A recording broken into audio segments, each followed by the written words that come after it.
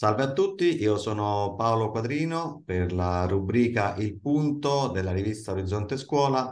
Oggi ho il piacere di avere come ospiti eh, due insegnanti dell'Istituto Comprensivo di Isili in provincia Sud Sardegna, eh, Simona Ilot e Silvia Casaddio che saluto. Ciao, buongiorno. Ciao Paolo, buongiorno. buongiorno.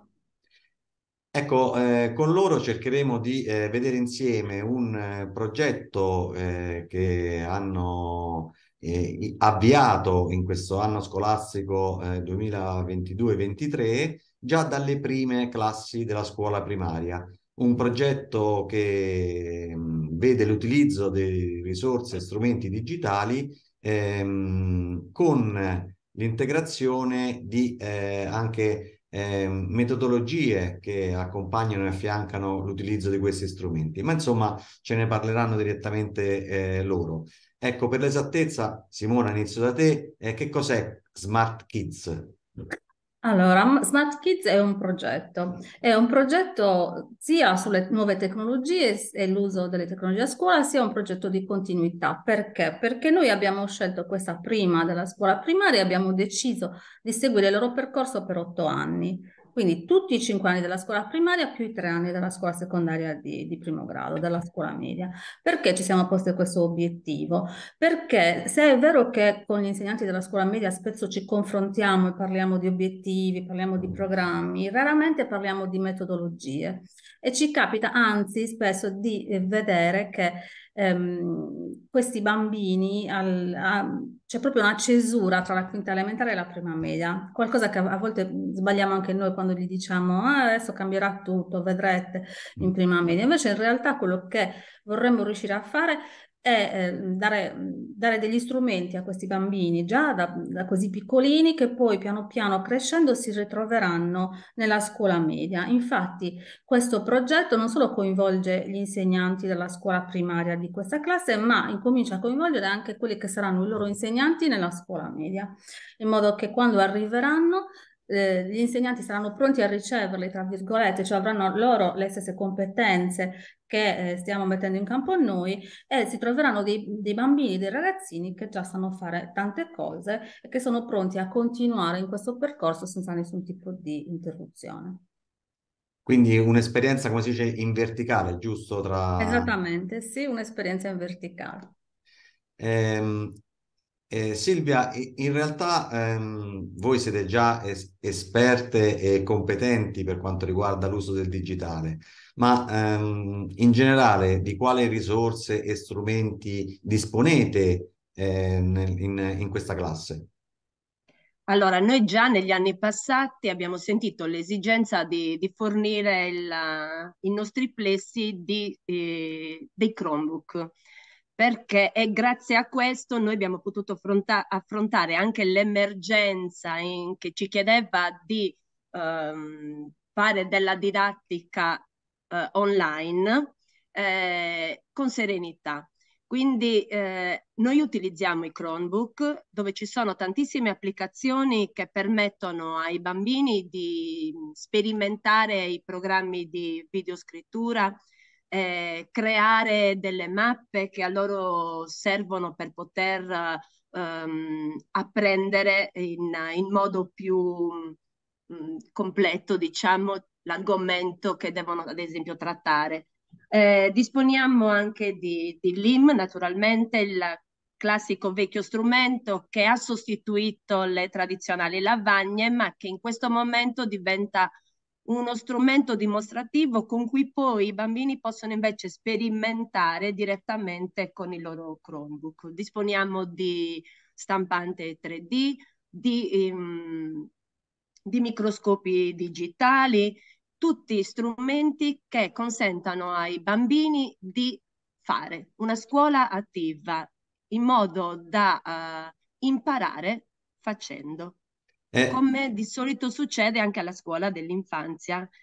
Tutto questo, um, tutti questi strumenti e queste metodologie che utilizzano queste nuove, um, queste nuove come diciamo, tecniche non escludono comunque le vecchie, i, i vecchi strumenti che sono i libri, che sono i quaderni, ma si insegna ai bambini a utilizzare ciò che troveranno nel loro futuro, perché adesso vengono utilizzati soprattutto, soprattutto per passare il tempo, ehm, quindi giocando, vedendo video, questi TikTok, invece noi stiamo cercando di insegnare ad utilizzarli per apprendere.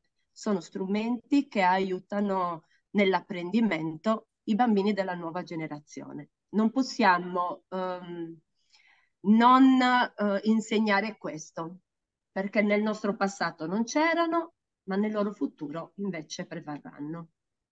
Quindi questi eh, sono gli strumenti più o meno di cui noi siamo forniti. Simona, se vuoi aggiungere qualcosa che io magari non ho citato. Eh, ne approfitto, scusa, io per dirvi una cosa e intanto stiamo vedendo il vostro blog eh, Smart Kids nella quale documentate anche all'esterno e quindi anche alle famiglie eh, le attività che svolgete. Però una cosa interessante era appunto quella, cioè in passato anche i detrattori delle limiti dicevano non cambia l'asset della classe, c'è sempre la spiegazione frontale.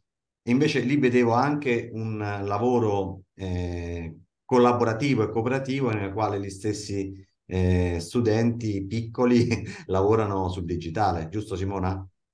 Sì, sì, i bambini possono lavorare alla LIM, possono lavorare sul loro Chromebook e vedere la, le stesse cose. Vedi, qua stanno facendo un semplice giochino di memory insieme, mentre loro giocano alla LIM, gli altri bambini ce l'hanno sul loro Chromebook a piccoli gruppi, quindi possono o osservare i compagni che giocano oppure possono sì. sfidarsi loro stessi.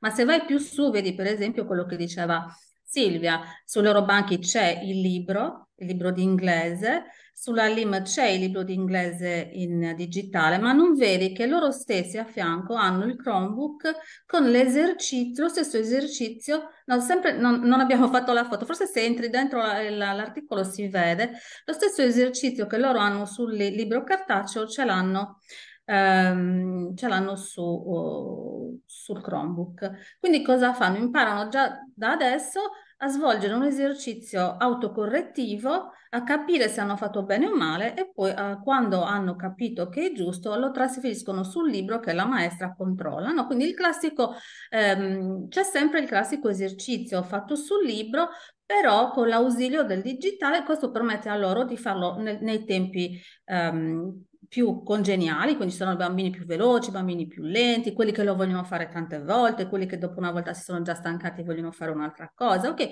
eh, imparando a muoversi in autonomia dentro la classroom, loro possono, um, non, non, sono per forza dipendenti no, dalla, dalle nostre istruzioni. Eh, eh, questa è una delle cose che vogliamo realizzare col tempo, è che loro a casa, quando avranno anche dei compiti a casa, delle, qualche, vedi qua stanno usando il libro digitale di matematica per esempio, no? Eh, quando diventeranno indipendenti e riusciranno a entrare da soli su Classroom, a trovare la materia, a trovare l'attività, poi loro si faranno i compiti senza dover, tra virgolette, disturbare un adulto che ovviamente dovrà sempre essere lì perché eh, i bambini vanno supervisionati sempre, ancora di più quando utilizzano questo tipo di tecnologie, però loro saranno completamente autonomi nello svolgimento delle, delle, attività e potranno anche lavorare insieme in classroom, quindi anche attività collaborative, attività personali, potranno inventarsi e, e mostrarci eh, bambini più grandi, perché noi non è che facciamo queste cose solo in prima elementare, questo, questo è, è, il progetto, è un progetto particolare in cui vogliamo documentare bene, ma noi di queste cose le facciamo in tutte le classi. E bambini sì. più grandi producono producono i loro, i loro lavori e ce li presentano e ce li mostrano e sono lavori personali e, e sono eh. fatti attraverso queste, questi strumenti. Perfetto. Ehm, eh, Silvia, eh, quindi è, si tratta anche di, un, ehm, di metodologie innovative che state introducendo, ma soprattutto anche di una eh, interdisciplinarità che mettete in atto in maniera molto importante nella primaria è più così rispetto a dopo le secondarie di primo e secondo grado, però mi sembra che attuate in maniera perfetta questo concetto.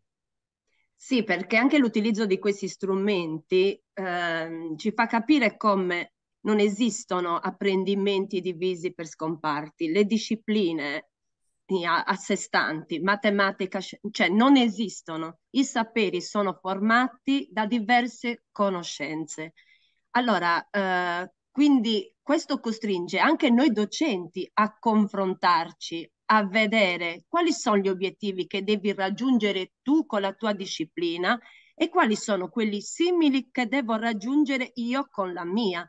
Quindi organizziamo un'attività in cui i bambini apprendano contemporaneamente e quindi raggiungano gli obiettivi contemporaneamente con un'unica attività. Quindi Quando costringe i docenti a confrontarsi, a essere proprio a lavorare insieme, quello che deve essere. Allora, l'insegnante diventa il regista, come c'è sempre stato detto. Noi strutturiamo l'ambiente d'apprendimento. I bambini pensano di essere liberi scegliendo in autonomia, ma noi abbiamo già deciso cosa i bambini, um, cioè non deciso, cioè li circondiamo della, uh, delle attrezzature, delle, degli strumenti, ma sappiamo noi dove stanno andando a finire. Loro pensano di essere liberi, stanno scegliendo, però alla fine siamo noi che abbiamo organizzato l'ambiente di apprendimento eh, e questo um, necessita di un'organizzazione in continuità. Da soli non si può fare niente, quindi noi stiamo lavorando con Simona perché comunque ci ritroviamo ad avere lo stesso, la stessa linea di pensiero. Eh, però confrontandoci anche con gli altri docenti del plesso, alla fine ci rendiamo conto che pensiamo tutti nello stesso modo. A volte è solo questione di non aver fatto l'esperienza di lavorare in questo modo, perché poi ci si rende conto che anche il nostro lavoro è più semplice, cioè è tutto più leggero. È la lezione frontale che costringeva il bambino a stare attento a ciò che io stavo dicendo, cioè necessita di una vigilanza, di una, un richiamo continuo, sono son faticose il bambino mentre gioca, utilizza questi dispositivi, queste, questi strumenti, si sta divertendo, ma nello stesso momento sta apprendendo, però con Perfetto. serenità, senza essere costretto anche a stare tanto seduto nel banco, perché c'è anche il, sano vecchio gioco, in cui comunque noi proviamo, utilizzando il nostro corpo, ciò che poi magari proponiamo anche nel dispositivo. Cioè non, non è, mm, diciamo che le metodologie si sono um, raddoppiate, triplicate, le vecchie non sono state abbandonate. Quindi, Bene, questa, questa, abbiamo... questa, idea di integrazione mi sembra vincente perché in effetti eh, aiuta molto nel percorso di apprendimento e di insegnamento. Ma, Stavo cercando di dire prima, Silvia, quando, che lavorando insieme, noi quest'anno abbiamo un'ora insieme, ehm, ci rendiamo conto, magari mentre lei sta facendo un'attività di matematica, io mi infilo con l'inglese, o mentre io sto facendo l'inglese, lei si infila con la matematica o con le scienze, o tiriamo fuori italiano, anche se, tra virgolette, non siamo docenti di italiano, ci rendiamo conto come tutto si può intrecciare, tutto si può richiamare, no? E quindi ehm, non, non, non, siamo lì eh, con, con, il nostro obiettivo fisso, no, noi stessi ci rendiamo conto lavorando con i bambini di come possiamo spaziare, di dove possiamo allargarci un po'. Magnifico. Ma, um, ultime due, due domande. Eh, la prima a Simona. Mm, eh, Simona, quanta però eh, competenza e preparazione sul digitale c'è da parte degli insegnanti? Noi in Orizzonte Scuola ecco, ci rivolgiamo soprattutto a loro. Eh, ci deve essere una buona preparazione, una buona competenza nell'uso di queste tecnologie o comunque pensi che ormai siano abbastanza eh, facili e semplici da utilizzare, non dico per chiunque, però insomma per, per gli insegnanti certamente. È, è, chiaro che ci deve essere una buona preparazione, ok? Questo è, però è anche vero che si può cominciare a piccoli passi. Ehm, noi eh, in, prima, in primaria facciamo al massimo tre ore di uso di dispositivo alla settimana, alla settimana. non stiamo facendo ehm, chissà quale eh, esperienza immersiva nel no, però diciamo che chi volesse cominciare si può anche organizzare una piccola attività alla settimana che si prepara a casa. Del resto con la pandemia abbiamo imparato tutti, nel nostro istituto, istituto sappiamo usare tutti la classroom per dirti, no? E anche semplicemente infilare in classroom un'attività e sapere che i bambini comunque sanno usare classroom perché ci sono insegnanti magari un po' più esperte che hanno insegnato ai bambini a fare quello. Quindi tu, docente che arrivi nel nostro istituto e che non sei estremamente esperto, però hai davanti già dei bambini che ti sanno dire, cioè che quando tu gli dici vai su Classroom, cercati la materia, vedi che ti ho messo un esercizio per dirti, loro ci sanno andare. Quindi, allora, su, su, quel, su quello si pongono dubbi, però ti capita per esempio di dare una mano o supportare qualche collega che ti chiede magari, eh ma qui come si fa? E Ovviamente, tu, tutti i tu, giorni. Tu sei animatrice digitale, non mi sì, ricordo. Sì, sì, ecco. sì, io sono animatrice digitale, quindi a me mi inseguono negli ambiti, capito? Però ah. è, è, è, normale per me, vabbè, a parte che siamo insegnanti, quindi stiamo sempre insegnando, è una cosa proprio, proprio una, sì. una forma mentis, un problema. Però, però, ecco, ci sono di queste situazioni nelle quali bisogna... Certo, ci sono sempre e, e a me fa molto piacere quando un insegnante viene e mi dice guarda vorrei provarci, dammi una mano, cosa okay. devo fare? ehm, ma anche Silvia, cioè piano piano ci stiamo allargando, nel senso stiamo diventando i tutor di, de, de, dei nuovi insegnanti che arrivano, eh, prese, chiunque voglia imparare con noi impara qualcosina e poi certo ci vuole tempo, ci vuole passione, Senti, ci vuole convinzione. Senti, ti capita anche per caso con le famiglie? Sì, anche con le famiglie. Diciamo che noi abbiamo uh, un dialogo abbastanza mh, aperto con le famiglie, soprattutto adesso con questa nuova classe che abbiamo deciso proprio di, abbiamo deciso con questa classe anche di far vedere al di fuori cosa si fa, perché come ti dicevo non lo facciamo solo con loro, ma con questa classe abbiamo proprio deciso di, di, di dare un senso, di dare una forma anche esterna a quello che facciamo. E, ehm, e non sempre eh, le famiglie, non dico che non capiscono, però possono avere delle resistenze, possono avere dei dubbi legittimi, anche perché questi sono bambini piccolini, dice ma come un bambino di sei anni lo metti già davanti a uno schermo. Eh, e, e quindi, qual è la reazione?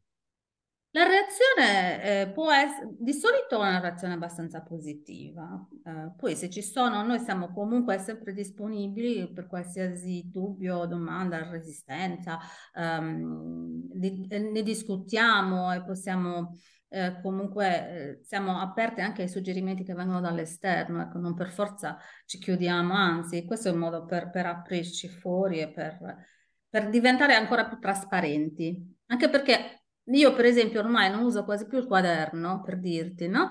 Eh, e quindi questi bambini sembra che a casa non, non, riportino niente. Invece, se un genitore entra nella classroom o entra nel blog, no, vede anche quello che facciamo dentro la classe, ancora e... di più che con un quaderno.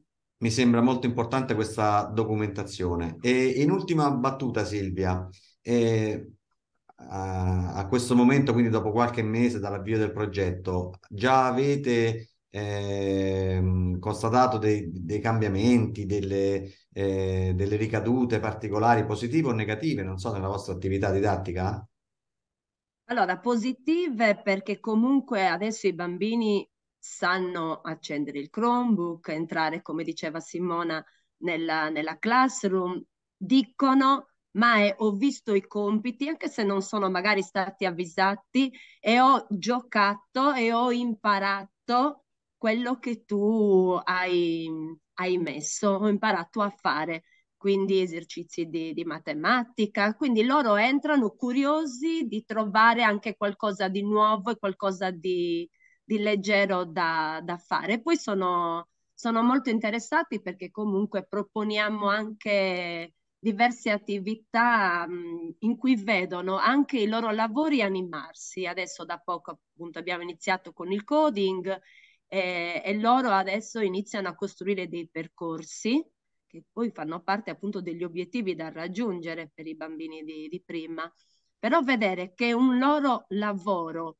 ehm, diventa eh, qualcosa ehm, di animato, mm, non so se si conosce, ad esempio, si possono nominare alcune applicazioni. Sì, sì, certo. Scratch Junior, certo, sì, sono, sono delle applicazioni davvero fantastiche in cui loro si, mh, sono stupiti nel vedere che eh, il personaggio si muove a seconda della, del comando che loro gli hanno comunque dato. Quindi sì, vediamo molta curiosità che è quella che serve per apprendere. Allora, se il bambino non si dimostra curioso, è come per l'insegnante. Allora, lei prima diceva, ci vogliono competenze, ci vuole sicuramente molta predisposizione a volersi aggiornare e queste, questi tipi di strumenti comunque incuriosiscono tantissimo perché anche noi stessi, noi adulti ci stupiamo di quello che comunque adesso si riesce a fare con questi, con questi dispositivi. Sì, i bambini sono molto curiosi e quando arrivano a scuola dicono, eh, però dura troppo poco, cioè nel senso vorrei stare ancora. E secondo me per un insegnante questo è il complimento migliore. Sicuramente. Eh, Sicuramente però mi sembra, da come capisco, che voi eh, abbiate in- intrapreso un percorso vincente nel senso che eh, eh, mettete ehm, in, eh, in, in prima battuta la metodologia, mi sembra, e poi a seguire gli strumenti, in questo caso digitali o analogici e quindi c'è problem solving, c'è gamification, c'è apprendimento collaborativo, c'è anche classe capovolta in qualche sì, modo. Quindi sì. ecco, eh, si parte da una metodologia e da, quel, eh, da, da quell'obiettivo per poi utilizzare quello che si ha a disposizione. Può essere anche una lavagna di ardesia o un libro di carta, non è quello fondamentale. Mi sembra perlomeno questo da quello, da quello che capisco. Sì. Non, non, non, si esclude niente, è questo. Esattamente. Non esattamente. stiamo mh, creando un ambiente che esclude il, i vecchi strumenti, anzi, anzi. Beh, anche però di nuovi perché ho visto, ho visto le stampanti 3D che vengono utilizzate già dalla prima classe. I bambini hanno scritto delle parole e hanno visto le loro parole lì stampate, quindi la curiosità e quindi c'è la voglia anche di uh, allenarsi per poterla scrivere bene e per poi poterla vedere esatto, riprodotta. Abbiamo certo chiesto, modo. esatto, per adesso hanno scritto in stampato e poi chiederemo invece il corsivo minuscolo no? per farlo più carino. Esatto. Quindi in questo senso li stiamo anche motivando, che sai che adesso il corsivo è una di quelle eh, come dire, una, è un argomento di dibattito un po', no? Sì, sì. I bambini non lo amano tanto, quindi magari anche trovare piccole strategie come queste per farti capire che comunque anche il corsivo ha la sua praticità, la, la sua bellezza, la sua importanza eh, questa è stata un'attività, è un'attività che ci permette di fare questo e mh, noi praticamente usiamo questi strumenti per togliere fuori, no? togliere fuori da, da, dentro la stampante 3D, toglie fuori dal computer quello che ho creato e magari il, um, che ne so, il, il microscopio mette dentro al dispositivo quello che io non posso, non posso vedere diversamente. Quindi in un certo senso, no, se quando si parla di, di allargare un po' la realtà, di, di aumentare eh, la realtà, a questo ci stanno servendo i dispositivi che abbiamo. Magnifico, beh, innanzitutto complimenti per tutta l'attività che fate e fortunati i vostri, i vostri alunni. Eh, l'appuntamento allora è tra cinque anni, così eh, ci dite come è andata a finire. Esatto, e poi tra otto. E poi tra otto. Va bene, grazie Simona, grazie Silvia. Grazie Paolo. Grazie. E buon lavoro. Grazie. Grazie. Ciao.